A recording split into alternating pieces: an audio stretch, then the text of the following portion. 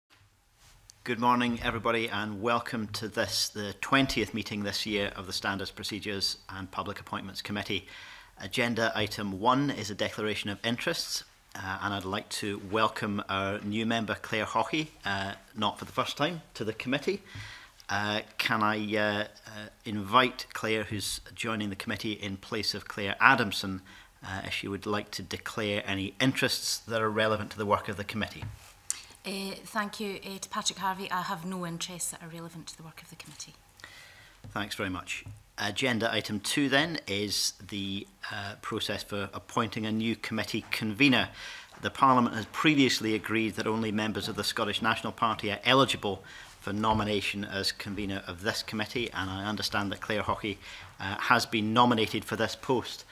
Uh,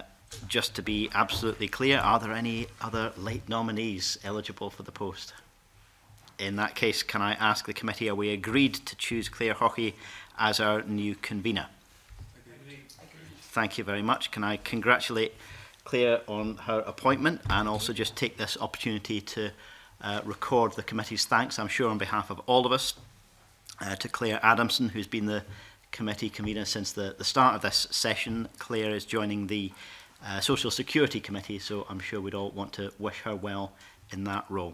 Uh, and at that, I'll hand over the chair to, uh, to the new convener. Thank you. Uh,